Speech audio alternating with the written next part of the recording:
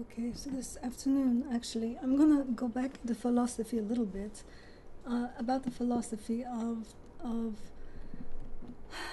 not attainment or anything, simply simply the human mind when dealing with trying to process a change into a group uh, a group scene here. We have a group that is for years and years been eating this meat, you know, carnivore uh, mentality. And so now we are trying to get away from that. We're trying to say, hey, no, we're trying to move move on to in, into the world of Peta, into the world of saving saving those little pigs and, and not letting them, you know, live those terrible lives and et cetera, et cetera, you know, get, getting the factory farms, you know, obliterated in our, in our lifetime or sooner. okay, so, so all of this is on the plans, on the agenda and yet we still have we still have like the human psyche here is just like it's on all kinds of different levels isn't it? And when you look at it like they live a lot of people live on the networking level. Like who, who's their circle of friends and who they network with. And they won't make changes until that network is in agreement to make that change they all go to the same barbecue and they all have a plant based burger. Then they're in agreement. So that network of group is like, yay, we are all rolling with that same rhythm. And, and in order to do that, and I hate to say it, but it is like a network of puppets. You know, that group, that clique, those who party together, those who are friends together, those who work together, they're like a clique and so and so to, to modify that click, it, it has to be like it's it's a heavy duty, isn't it? It's a heavy duty to go in there and say, "Hey, you've been doing that wheel, that strategy for so long, and now we're trying to get you to change the burger on the wheel. Okay, we don't want you to have those anymore." And um, so they don't. They're not taking it. You know, they're not taking it necessarily from me. They're not taking it from other other vegans out there. Uh, they don't care if Pamela Anderson is beautiful. They're not doing any of those things. They're simply going with their network. And if their network says, "Oh, damn to them," hell to them, we're gonna we're gonna roast a, a, a fry a turkey out front at, at Thanksgiving just to be an asshole. If that's what their network says, that's what they do in that circle. That's where they live. So they're puppets within their own circle. They're not independent at all. They haven't formed an independent uh, psyche. So it's um and and you can't really say, hey, you know, you know, you're obviously not a leader. Uh, you know, you can't like attack them in that that that mode. You can't uh, say, hey, you, you don't have any leadership skills or mentality. You're just a follower, and you'll follow your network and and no they they they'll be like they don't care because they have that that clemmy group that social group that they can hold hands with that will stab that turkey with their steely knives. That's who they are. And if that group says do so no matter how evil what that group says to do they will follow it because that is who has befriended them. That is where they feel comfortable. That is where they feel at home. That's where they feel accepted. So that's what we're fighting. When we're when we're trying to get people to be vegan, we're fighting that network. And and there's a whole bunch of different ones out there. There's some real ugly ones where where people even put cat dead cats on people's doors. There are those types of networks. There are networks where where people are completely military minded, like some serious military minded. You know, A's and Q's and, and every rule. And then they'll read that rule five times, uh, thrice, and they will literally go out and persecute people that have, have not abided by those rules. So we have those, the militant fascists that live in that network. And they use that as their little clummy home. And they, you know what? They may not have friends because they're in the military, but that network has taught them that the rules are their friend. The rule book stated by the U.S. government, the rule book stated by the civil uh, locality, that is who is their friend. So when you look at the military, you're looking at the each one of those militaries, the, the militant human beings, having that friendship. And it's the ordinances. Okay, so then you have other groups, of course.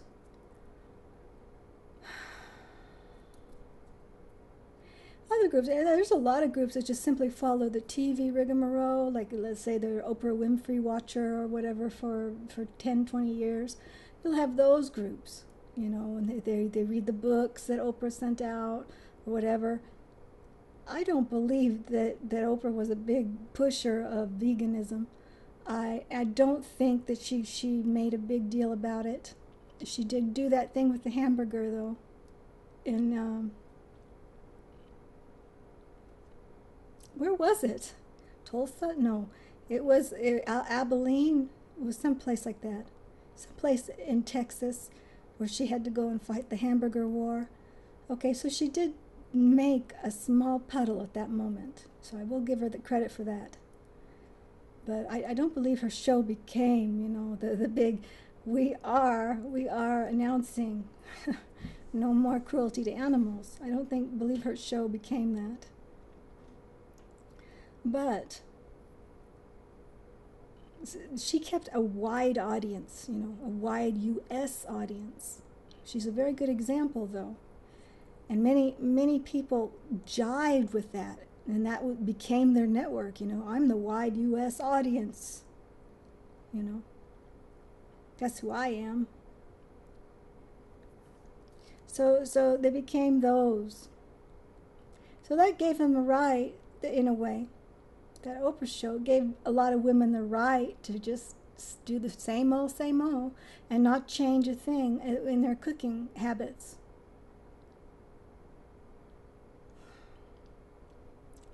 Darn it. And obviously, the books, you know, they're in the book club. There's so many books out there that just keep going on and on with the same old rehash of the past.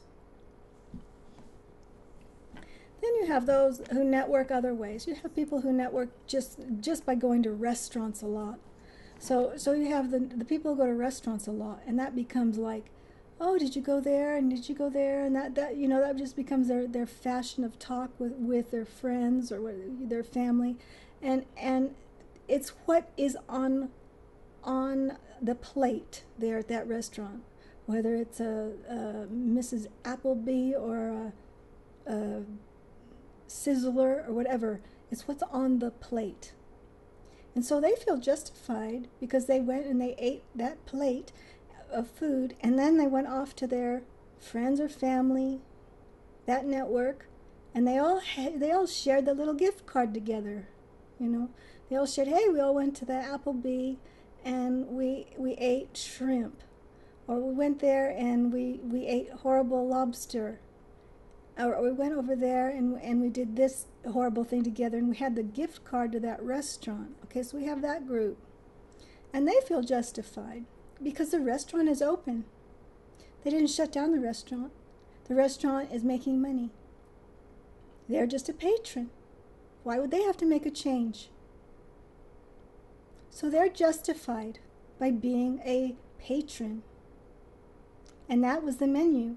The menu didn't say anything about being a vegan. The, the menu never said one thing.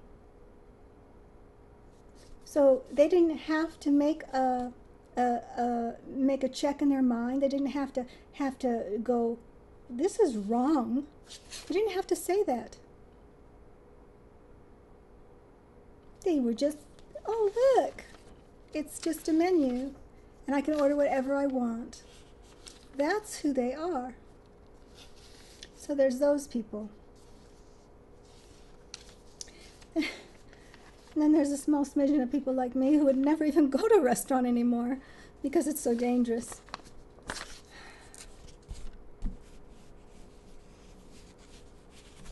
Anyway, so we're getting into the psyche change. They have a lot of help. You know, the written word on that menu is help. It's, say, it's saying, you know, you're going, you're going to a restaurant, you're getting that same uh, supplement, supplementation of, of, of the being fed, like, you know, when you were a baby, you're fed, your mother fed you. You're getting that same moment when you go to a restaurant, you know. My mummy fed me, and now I'm going to be fed, you know, and she just put a plate down in front of me, and I'm a child again. You get the same thing all over again. There's your food, you know. So it can't be wrong, could it? Because my mother loved me. She would never give me the wrong food. So the restaurant group of the chains across America are extremely non-helpful. The restaurants themselves uh, have been the slowest going. Mo- they've just been absolutely retarded in, in putting a foot on it and get, getting going and saying, hey, you know, you know, we have three pages of menu here. One of them better be vegan quick. They're not doing that. Instead, they're forcing other restaurants to open, all on their own.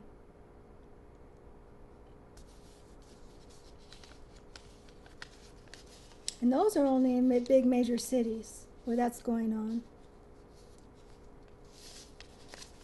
So these big, big chains, the big restaurant chains, they have just been a big crock, literally, crock and barrel. They've just been over, overdone and not helping. Not helping our future. They've been hurting our future. And, and no, our CO2 has gone down a little, but it's at, it's at 413 today, 414. So it hasn't really gone down, folks.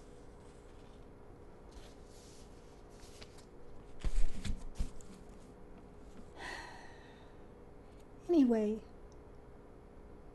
So just think about that. This is where we're, we're talking about the human psyche. It's just a group of followers, and they're just all picking their own little group to follow in and be within. I'm in this group and following. I'm in that group and following. I'm in this one and following.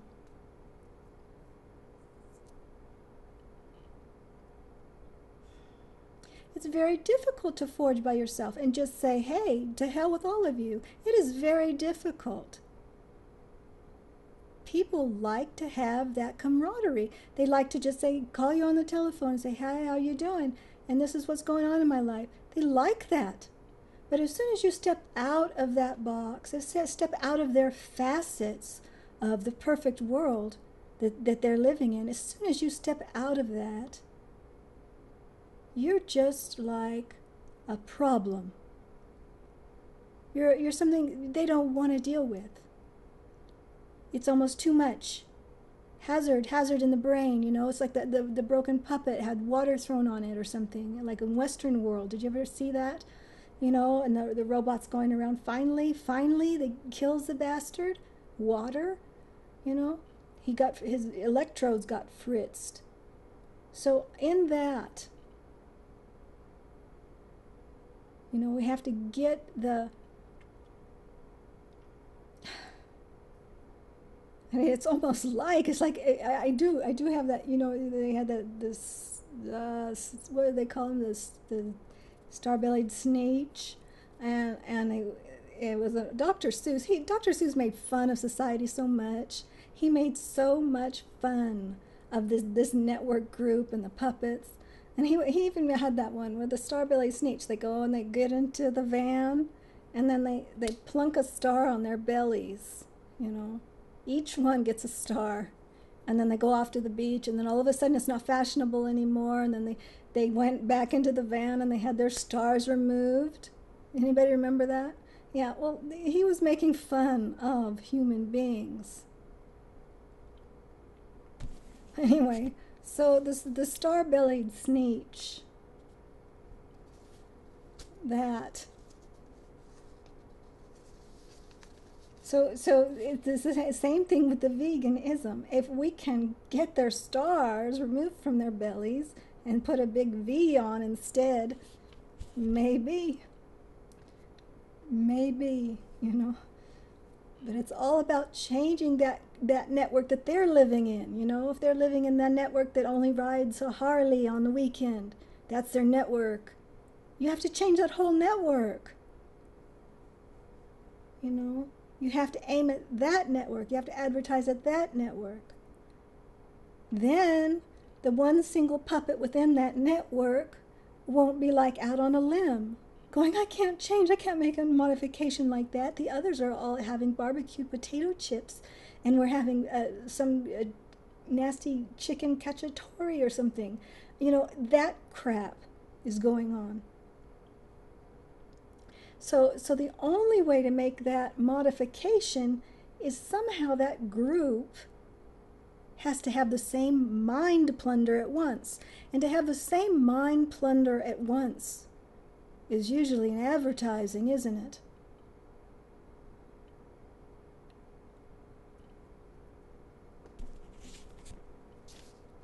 So that's a lot of different groups to advertise to.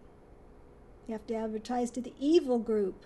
You have to add, add I, they're pretty much all evil, all of these animal cruelty people anyway, but to the extra evil ones. Then you have to advertise to even the Harley people. Then you have to advertise over there to the the the the book club people. You have to advertise to the church people, the ones that actually still go to church. You have to advertise to them because they feel justified in God's kingdom that they can eat whatever they want. God provided it here on this planet, didn't He? When the preacher and the pastor and the reverend starts to say, hey, we're going to change our ways. We're going to mend our ways. There's a powerful manipulator right there. He's king of the club. She's king of the club. There's a few girls out there on, on, the, on the podium. But you know right then and there that church is a manipulation zone. And he has the power. He has the power to start switching them, switching them over that reverend.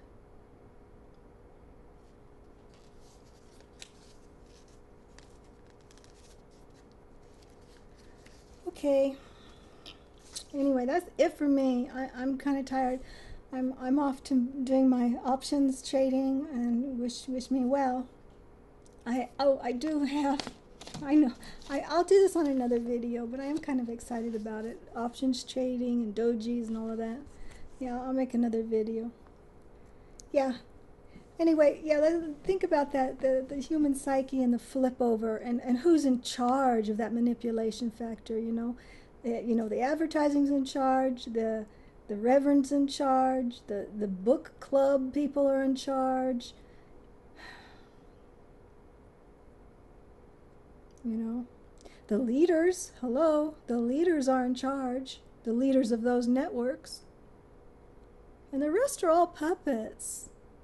The rest are all puppets, and they will go with the flow when the rest do. They don't want to be out on their own. They'll do it when the rest do. They don't want to be felt uncomfortable ever. They can't handle it.